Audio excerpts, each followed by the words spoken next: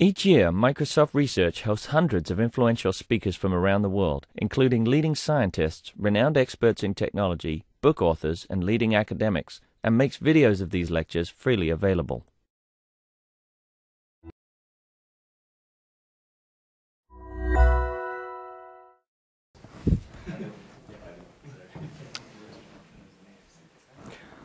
All right, so um, in this talk, I'd like to review two algorithms that we have recently proposed based on this framework of uh, random functions or random features. So the mindset here is that you have millions of points, millions of features, and the processing capacity of your smartphone. And um, this is joint work with Philipp Hennig, Bernhard Schölkopf, and Suvrit Sra from the Max Planck Institute for Intelligent Systems, Alex Smola from CMU, and Zoubin Ghahramani here in Cambridge. Okay, so let me begin with some uh, very classical problem that we all faced at some point, and it's the case of nonlinear binary classification, right? So in this problem, you're given a bunch of blue points, a, a bunch of red points, and your professional uh, career will be summarized to find an algorithms that will perfectly separate these two clouds.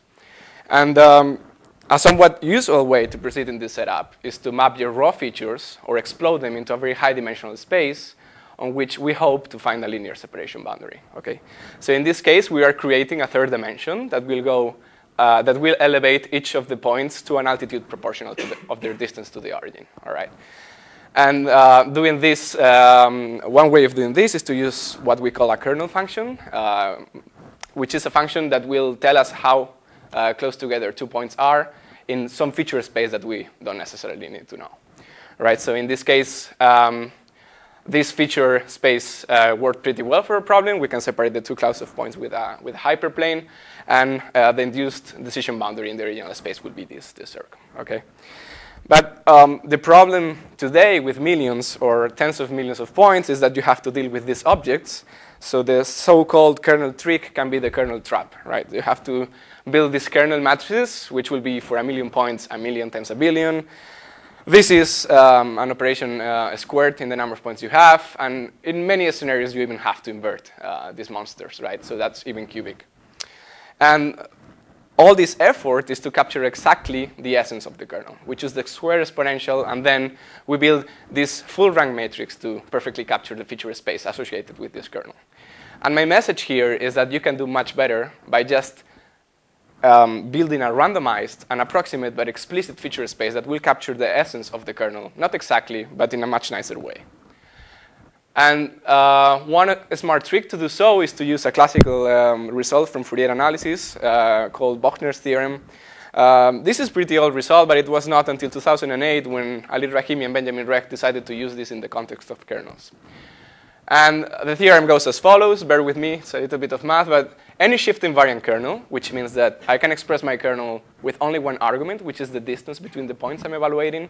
And by the way, I think uh, in the talk from Zoubin and James, I think most of the kernels are shift invariant. So you could use these tricks to scale uh, the automatic statistician to millions of points.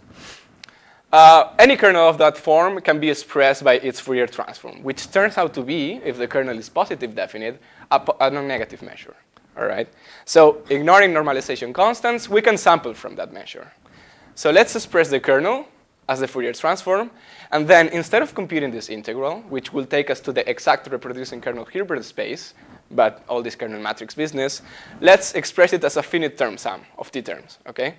And now this is not equal, it's approximately equal with an error term of 1 over square root of t, just uh, approximating an integral with Monte Carlo. The cool thing about this representation is that I can separate the things that depend on x from the things that depend on y, concatenate them in a vector, and then I will have a randomized but explicit feature space. And now I'm going to step back, and instead of using dual algorithms, I will use linear but primal algorithms on this set X representation. And this will allow me to do, for example, nonlinear regression in linear time complexity with respect to the sample size.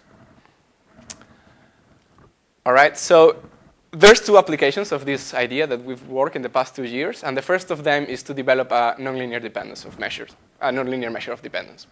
And we call it the randomized dependence coefficient. And the task at hand here is, well, you're given a sample that can be the circular pattern plus noise, and you're interested in characterizing if there exists a dependence between x and y or not. So in the case of using a linear measure of dependence like correlation, you will get something close to zero because there's no linear direction in this sample that we explain the variation in the data, but we want to, to have something more general, and we will use these random features to do so. So the method works as follows. The first step here is kind of a preprocessing step on which we will make all the marginal distributions, all the features in X, all the features in Y look uniformly distributed, and this is called the copula transformation of our data. This will make our dependency statistic invariant with respect to monotonic transformations in our data. Uh, Miguel in the afternoon session will talk more about this. This is a logarithmic time um, uh, transformation, so we don't lose much time, much time doing that. The second step will be the random feature step. So in, in methods like KCCA or HSIC or some other state-of-the-art dependence measures, you will build the kernel matrix and then do some spectrum analysis on it. Instead, we are going to build this approximate but explicit feature space. We're going to do it for X. We're going to do it for Y separately. And now, instead of scalar random variables, we're going to have K projections of X, K projections of Y. And then our dependence statistic will be the linear combination of X and simultaneously the linear combination of Y such that we reveal as much correlation as possible. So in summary, we're given some raw data, and we have computed these transformations here, such that we push x through these transformations, we push y through this one, and then we get something that uh, gets the correlation revealed. And that's our dependency statistic. Okay. It turns out that we're approximating a very classical dependence measure, um, but this is uh, uncomputable in general. It's searching over some Banach spaces from uh, two general functions f and g. You cannot plug this in into a computer without further regularization. And we have um, reduced this problem to a linear thing which is uh, the CCA step. So if you want to know more about this, uh, there's, uh, this has been published in last NIPS. Uh, the first neat thing about using this, these random features is that you can really do a, theoretic, a clean theoretical analysis. Everything becomes a random variable, everything becomes independent, so uh, making claims about the algorithms is, is pretty straightforward we've been uh, able to show that this RDC, statistic of ours, converges to, to what we have presented before. Well, when, uh, when, there's, um, when this HGR statistic is restricted to some functional class, more details uh, offline.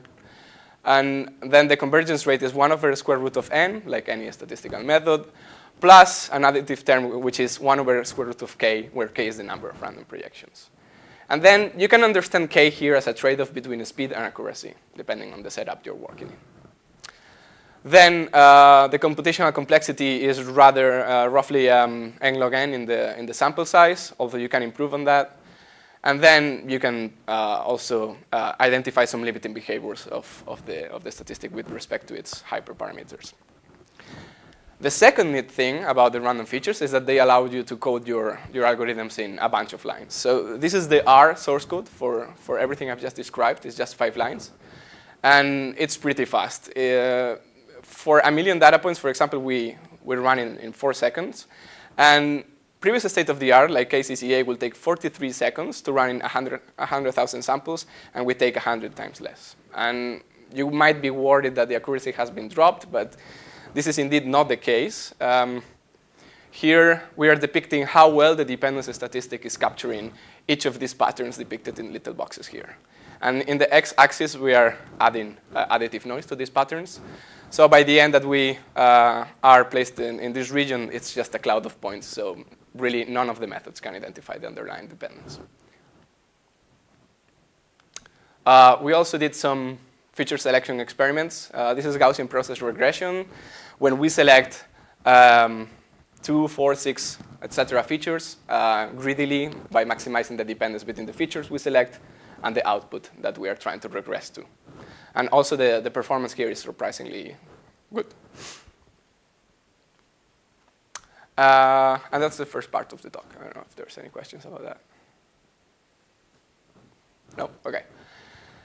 Um, the second application of the random features that we have done is to component analysis methods. Things like PCA, CCA. We have, we have taken the kernel version of these algorithms, applied the random feature trick to them, and see how well they scaled and analyze some theoretical properties of them. So in the case of KCCA, the solutions of kernel uh, KPCA, sorry, the solutions are uh, defined by the eigenvalues and the eigenvectors of the kernel matrix K. And in our case, we are going to approximate this matrix by k hat where k hat is now not going to be full rank. It's going to be the sum or of m random features of this form, and uh, each of them will be uh, dot product against itself and, and form a rank one matrix. Okay. And uh, the, the basic result that we've been uh, able to prove is that you again achieve some kind of inverse square root uh, convergence rate with respect to the uh, original method. And, and this result uh, is in operator norm, so it's, it's very expressive in, in terms of uh, all, it's controlling all the marginals. And this would be considered like a major result some years ago, but thanks to the um, recently developed matrix concentration inequalities by Lester Mackey and colleagues, this was uh, a joy to prove because all the features are independent. You have a sum of independent matrices. Concentration of measure happens very, very nicely.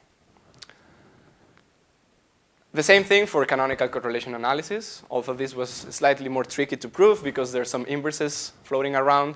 So we, are, we have only results for the regularized version of canonical correlation analysis.